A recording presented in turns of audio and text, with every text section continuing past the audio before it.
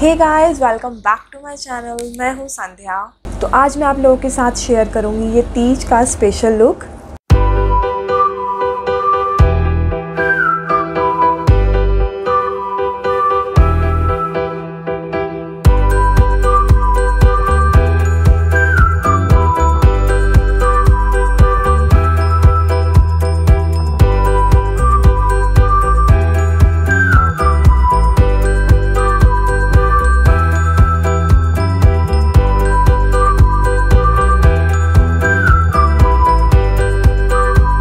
Guys video में use किए गए सारे प्रोडक्ट्स के लिंक मैं नीचे डिस्क्रिप्शन बॉक्स में मेंशन कर दूँगी।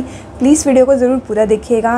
And if you like this video please don't forget to like and subscribe to my channel तो चलिए without any further due let's get started सबसे पहले मैं स्टार्ट करूँगी अपने आई से, जिसके लिए मैं यूज़ कर रही हूँ स्विस ब्यूटी का कंसीलर इसको मैं अपने आई पे एंड अपने ब्रो बोन्स पे अच्छे से अप्लाई कर लूँगी।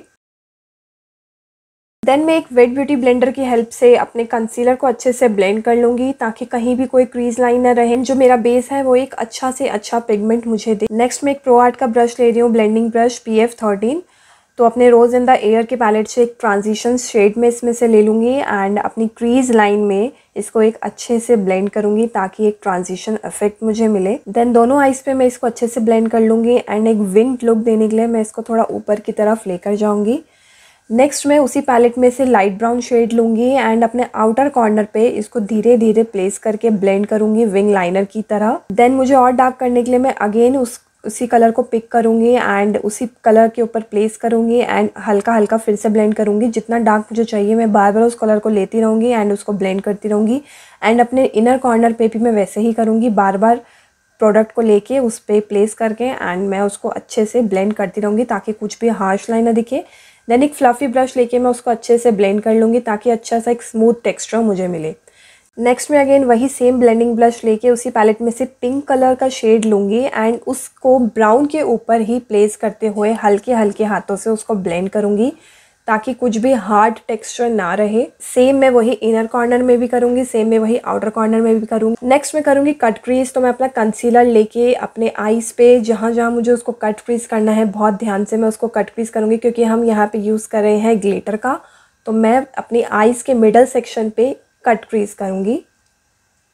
नेक्स्ट मैं यूज़ करूँगी स्विस ब्यूटी का ग्लिटर पैलेट इसमें से गोल्डन शेड लेके, जहाँ पे मैंने कट क्रीज किया था अपने कंसीलर की हेल्प से, वहाँ पे मैं इसको अच्छे से अपनी फिंगर की हेल्प से ही अप्लाई कर लूँगी।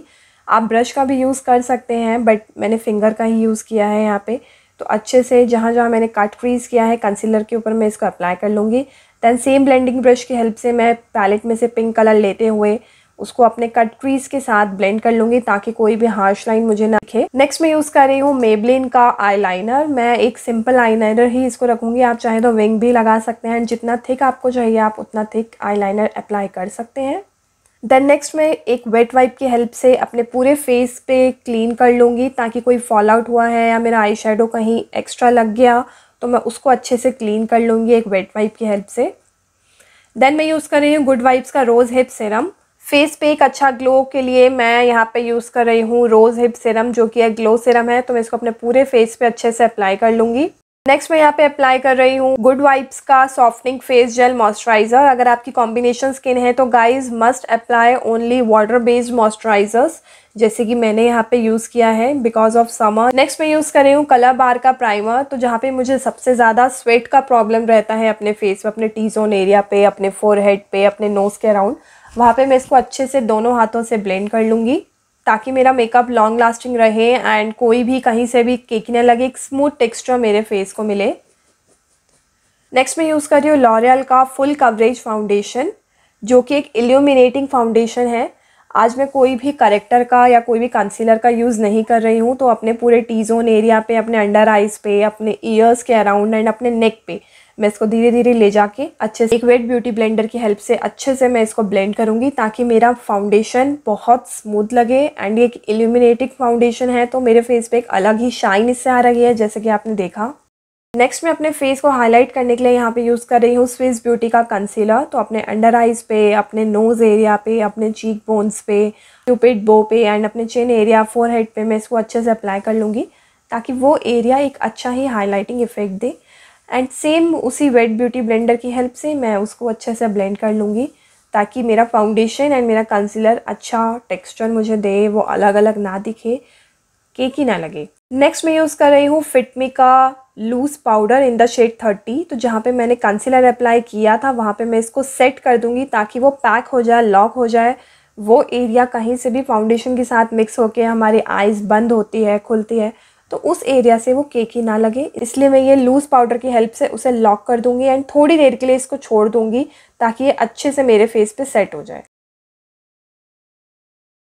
नेक्स्ट मैं यूज़ कर रही हूँ वेट एंड वाइल्ड की eyebrow pencil in the shade ash brown मेरी आईब्रोज ऑलरेडी वेरी थिक है सो so जो भी एरियाज़ हैं, जो भी गैप है मेरे आईब्रोज में, मैं उसको फिल कर दूँगी या कभी मुझे शेप देने की भी ज़रूरत पड़ती है तो मैं उसको दे दूँगी। नेक्स्ट मैं एक फ्लफी ब्रश की हेल्प से मेरे फेस पे जितना भी लूज पाउडर था, मैं उसको रिमूव कर दूँगी डस्ट ऑफ़ कर दूँगी एंड उसी को ही पूरे फेस पे मैं अप्लाई कर रही हूँ। मैं कोई अलग से कॉम्पैक्ट यहाँ पे यूज़ नहीं कर रही हूँ, उसी को ही जो लेफ़्ट ओवर था ब्रश पे, उसी को ही मैं अप्लाई कर रही हूँ अपने पूरे फेस पे। नेक्स्ट मैं यूज़ कर रही हूँ नायका का काजल, जो कि बहुत ही ब्लैक पिगमेंट मुझे देता है, बहुत jet black and smudge proof kajal है। नेक्स्ट सेम पैलेट में से मैं दोनों कलर्स लूँगी ब्राउन एंड पिंक एंड एक पेंसिल ब्रश की हेल्प से मैं अपने लोअर लैश लाइन पे इसको अप्लाई कर लूँगी। दोनों कलर्स को लेते हुए मैं अच्छे से इसको ब्लेंड कर लूँगी। नेक्स्ट मैं यहाँ पे यूज़ कर रही हूँ सिवाना कलर्स का ब्रॉन्जर मैं कोई हार्ड कॉन्टोनिंग यहाँ पे नहीं कर रही हूँ तो जितना डार्क कॉन्टोरिंग मुझे चाहिए अपने फेस के अकॉर्डिंग मैं उसको करूँगी अप्लाई अपने जॉ लाइन पे, अपने नोज़ एरिया पे, अपने चीक बोन्स पे, मैं इसको अच्छे से एक ब्रॉन्जर ब्रश की हेल्प से इसको अपने फेस पे अप्लाई कर लूँगी। यो सो या नेक्स्ट मैं यूज़ कर रही हूँ मेबलिन का मास्टर ब्लश पैलेट इसमें से सबसे डार्क कलर मैंने चूज़ किया है क्योंकि एक फेस्टिवल लुक है एंड मेरा आउटफिट भी एक डार्क कलर का है, इसलिए मैंने इसमें से डार्क पिंक कलर चूज़ किया है। नेक्स्ट मैं सेम पैलेट में से हाइलाइटर लेते हुए अपने फेस पे, अपने चीक बोन्स पे, अपने नोज़ पे एंड जो भी एरियाज़ मुझे चाहिए हाईलाइट के लिए, मैं इसको अप्लाई कर लूँगी।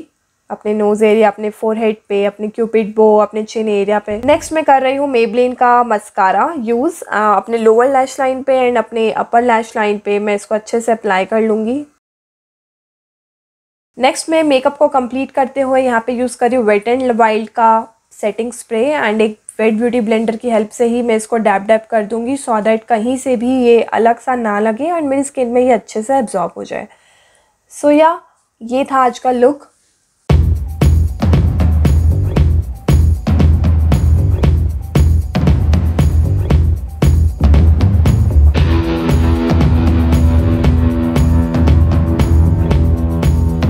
so guys that was my Indian festival Teej look I hope आपको ये वीडियो पसंद आया होगा. If you like this video please don't forget to press the like button and also don't forget to like subscribe share and comment to my channel till then bye